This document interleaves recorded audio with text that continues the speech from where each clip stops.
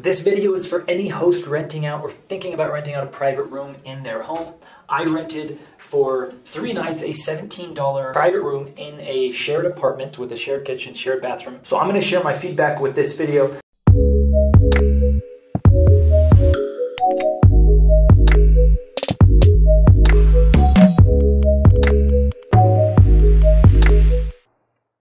With this video, I was considering going through the listing, but that is relatively consistent no matter who I'm talking to. That that's those strategies are relatively consistent with photos and text, all that stuff. This was an interesting state for me because I had never stayed in a situation like this before with other guests. So what I'm gonna do is I'm gonna go through this video. If I was the host, what are some things that I would or could do from the easiest, low, lowest cost, lowest time commitment optimizations I can do to a little bit more cost and time intensive. And that should also increase the value, the more cost and time intensive. So I'm going to go through that. I'm going to go through some positives that I noticed that's different about shared accommodations like this, but things that I thought she was doing right. Third part will be how you might be able to increase occupancy. And the fourth part is just uh, two general learnings I had on this stay. Let's jump into it. The first one, the easiest thing she could do, offer um, cleaning of the dishes. I don't know how to phrase this yet. Telling the guests that they don't have to clean their dishes in the kitchen. Why would that work? I asked the host, I said, how many guests actually cook? Because I was cooking. She said about one in seven. My guess is that more than one in seven guests are going to think, oh, there's a kitchen. It's nice. I don't have to do my dishes. I'm going to cook. I might even book this place because I'm going to save money and I'm going to cook. Maybe one in two think that, one in three. But actually, given this additional amenity, this additional bonus, I don't think any more than the one in seven that the host is currently experiencing, one in seven guests cook. I don't think any more would actually cook because of this benefit. But before they actually get to the house, because I think people like the idea of cooking, oh, I'll cook, this makes it a little easier to cook. But at the end of the day, they, they don't. So you can offer something that guests think that they'll take advantage of when they're making the booking, but won't actually take advantage of. I, I, would try that if I was the host. I would definitely try that. And the host was coming up so often that it just kind of made sense. I think it would have brought a lot of value. Anyways, the check-in. The check-in, uh, very easy to do. I got there and I was on the right side of the street. It was a one-way street, so I had to cross the street with my three bags and my and my scooter. It, since it's a one-way street, you're always coming down the same way. House on the left side such an easy optimization that you should do. Houses on the left side. At least they can get off on the right, on the correct side of the road. In this case, left side. I would give the rooms cool names. She just had them labeled one, two, three, four. I'd give them cool names. I might even put like some kind of a picture in there or something to make it. You know, I'd name them after a city or name them after a type of dance here or a type of food, something like that. That would be cool. That would also be a way you can differentiate the rooms. I'm to get into that in a, in a little bit. Some hack where you can basically make more money is how how you differentiate the rooms and then how you read that how you read that information and apply that to the other rooms. This would be one. I would get a deal with nearby restaurants. One downside. Now this host has a lot of competition because there's a lot of hostels and some brand new hostels in the immediate vicinity. I'm talking about around the corner. There's a there's a brand new hostel. So the hostel typically provide free breakfast. That's a downside if you're renting an Airbnb. The other downside is meeting people. So that's what I'll get into as well. But uh, what I would do is I would I would go to a couple restaurants, nearby local restaurants, and say, hey, I got an Airbnb, I've got uh, 10 arriving guests every week. Maybe you can give me a little discount on your on your menu of the day, of the day, which is usually like a simple breakfast that all local restaurants offer. And I can tell my guests, and you get some more business. I can tell, tell my guests they get a you know I can tell I can advertise a breakfast, a discounted breakfast. I would definitely do that. In the kitchen, I would provide more condiments. We're still at the kind of the lower, really easy things you can do end of the optimization spectrum. I'd provide more condiments. She had salt, pepper, and some oregano, which seemed to be left by prior guests. I would get some more more condiments, just straight up. I'd get more condiments. The oil she had was like the really cheapest type of oil you could use that you pan that you use for frying, usually deep frying, I would get a little bit nicer oil. It doesn't have to be the most expensive stuff, but a little nicer oil for sure. I would upgrade the chairs in the bedroom. Right now, I'm, I'm staying at a place called Finca Nomad Finca here in Medellin. I'll do a review on this. It's an interesting concept for sure, and the host here has put in a a semi soundproof room for to do videos. Plus, he's got really high end chairs here. Now, she doesn't have to go this high end, but the chair she had was um, clearly just kind of had been there and were available to be used. The keys uh, were there was three keys and you had to use Malt to get into all of the all of the rooms, and especially the gate in the front. No matter if you were coming in or going out, you had to use a key. She had three keys without labeled, so the easiest thing would be to label the keys. At least you should label the keys, especially when it was dark out. I remember when I came up one night, it was really dark, and I couldn't see anything. I had to then, you know, I had my scooter, I had, to, I had a little bag of groceries, and I had to put it down, get out my phone, find how to turn on the light, turn on the light, figure out which key it is. The second or third key I tried worked. So that sounds ridiculous, right? What a crazy ridiculous complaint, right? Uh, that's one way you can think of it. That's one way you can think of it. The other way you can think of it is as a level three host would be in trying to optimize everything you can do. It's such an easy optimization. It's a little bit uncomfortable to experience what I experience. I want to make it less uncomfortable. We'll get into that when we get into the bathroom.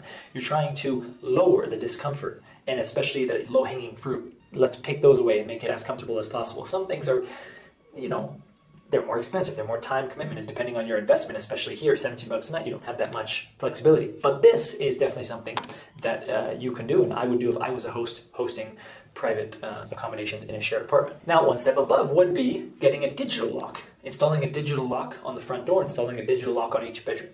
Now, now we're getting into a little bit more money and time involved here. More shelf space in the bathroom, yes. So the private bathroom, there was no shelf space as I recall. My things were just on the ground. And that's uncomfortable. It's slightly uncomfortable. It reminds me I'm on vacation. Do you think I'm constantly bending over every time I have to go to the bathroom and you take out my toothbrush or take out my hair gel or shampoo or whatever? No, I have a shelf. That's a relatively low cost thing that increases the comfort of the guest stay. I would do that. And same in the um, common bathroom. I would install a better like holder in the bathroom.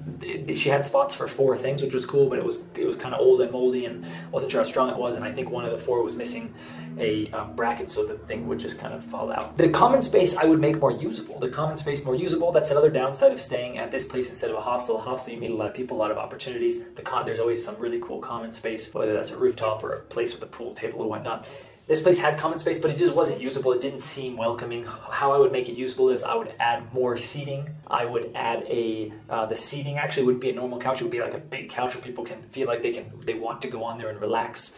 The TV could be better. You can do like a projector if you want later on once you have the money for the investment. But uh, I would think of ways in making that more comfortable, more accommodating. There was a rooftop as well, same thing there. The furniture was really old and outdated. I might add another type of a chair. I might add some games like some darts or something. I might add a water feature, have you know something definitely. That those are those are the higher end things I would do, and I'm going to stop there because this place doesn't have.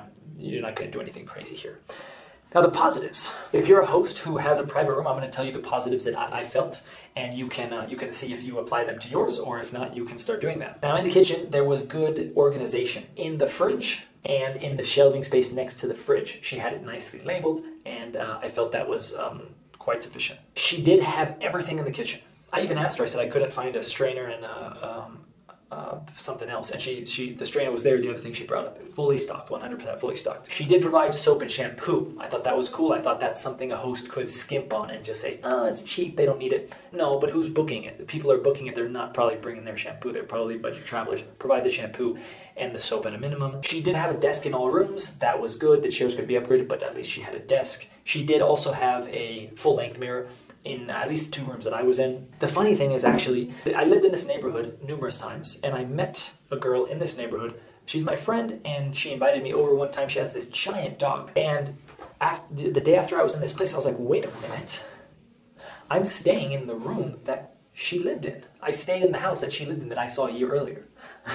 I thought that was kind of strange. I, I, I, reached out to her. I haven't heard back from her yet. But that her room was the one that had the hooks. The other one didn't. My guess is just prior guests who had stayed there longer term installed these things. Um, so the host, uh, I can't, I'm not giving credit to the host there, but all rooms should have hooks. Period. All rooms, all Airbnbs should have hooks to Hague things. That's that is a must. Uh, how to increase occupancy? I would say there's there's two things that I thought of. Um, the first one is going around to those same hostels that I mentioned and saying, hey, if you all have over overflow, I'm a local Airbnb host. I have a similar accommodation, at least in terms of price. If you wouldn't mind giving them my car, if you don't have availability and they come in, I'm just literally around the corner. It would be really great. I think they would do that. I think they would do that. And then pet friendly. I would also make it pet friendly. Turns out it was pet friendly. On my day of checkout, I saw a dog. Uh, a man and, and his uh, his wife or girlfriend came out with a dog, and I thought, oh, okay.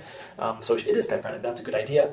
You have to balance that with how many people might be pet allergic. I think probably very few. I think I would make it pet friendly. That would probably be the, the better route to go. Plus, she has a cleaner coming in every day, so it's relatively uh, clean for those who might who might be allergic, um, mildly allergic to pets. And lastly, general. General things that uh, I want to mention with this video. How soft is the bed? Um, I, I, I want to see that in listing descriptions. I think it would be good for Airbnb to even do it because I am comfortable on a soft bed. Some people on firm beds. Here in Colombia, they're all firm beds. But think of it this way, not just that. Think of it this way as a host. If you have four bedrooms and you advertise if there's um, in the Belmonte penthouse, my my Airbnb in, in Medellin. I now I just have purchased a brand new king bed. That one is soft. Uh, I have one that is medium, and I have two that are firm. Now, if I was renting out my individual rooms, and I and the rooms were more or less equivalent, but I was advertising the differences in the beds, and I noticed that my that my room with a soft bed was constantly booked, constantly occupied, and the other two less. I might I might assume or theorize that it may be because of that soft bed. So by me just trying to differentiate my rooms that are already pretty similar, I realize, oh, the soft bed is a hit. I need to get another soft bed, and then you get another soft bed, and, and, and it repeats itself for that second room. Well, then you know for certain that that was a good investment on your end, and you and you need to highlight that more soft bed, and then maybe you get a third one or fourth one. Depends on you know how it goes in terms of what the data is telling you. And then there was a little hot water issue. I think there just wasn't really hot water. It had one of those electric water heaters. But she went so far, I think she's clever. I, I can't tell if this was on purpose or not, but she went so far as to put blue and red tape on the shower. And then the next day I said, um, I asked her, I said, hey, the, the, the water's not, the hot water's not working. And she acted very surprised. Oh, really? Huh, I wonder why. I'm surprised. I have a guy coming in tomorrow. He'll review it. And I thought, um, she was believable. I thought, okay, that's, that's fine. You know, it's not a big deal for me. It was kind of hot these days anyways. But the, the, the, the hot water uh, handle didn't even work. The cold one did, but the hot one didn't even work. So I was kind of like, does it, did she just like, is she messing with my mind here? It doesn't even work, but she put a red sticker on there anyways to make me think that it doesn't work, but it usually does work. The same thing happened in the shared bathroom when I, when I was there the last night. It didn't work as well. So I think what she's doing is she just doesn't have hot water, but she's just playing it off. And look, I do that too. I do that too. I'm sorry about if one guest out of 15 complain about something, I'm gonna pretend that the complaint is serious, and I'm gonna say I'm gonna I'm gonna I'm gonna tell them what I'm gonna do to fix it. But I'm not gonna do anything because one in 15, and it doesn't result in a negative review. I'm not gonna do anything. I'm gonna waste my time doing anything and potentially cause more issues than the problem. Booking a $17 a night accommodation in this city, hot water is a bonus. I think you know it's not. This is not going to get you a negative review. So, anyways, that works as long as someone doesn't leave a review. If someone leaves a review, like if I were to leave a review and say, "Hey, all good," but there's not really any hot water, well, then you're kind of you're you're busted because then this guy sees this review two, three weeks ago, a month ago, and then comes in and says, "Same thing happened." Wait, what? Oh, I'm going to go and I'm to get someone to fix tomorrow. Well, this guy left a review a month ago. You still haven't got it fixed. So that's where you can get into problems. So keep that in mind if you're if you're playing that game. Great. So that was a good experience. Like I said, I'm at Nomad Finca. It's a gigantic mansion on with the, probably one of the best views in. You can see the entire city of Medellin. I think there's seven bedrooms here. They're all private. He's got an on-site chef, maintenance guy, something else cleaner. Um, these are all folks. Some folks have been here for months. I'm just staying for five days. I'm going to do a little uh, video on this as well. For those people who are thinking of he's also building some glamping on the mountain over there. This will be the next video for this one will be about hosts who are thinking of doing something a little bit more unique more unique rather than a regular regular house which is what most of us do. Until that time i applaud you for watching and giving me that thumbs up. Happy hosting. Ciao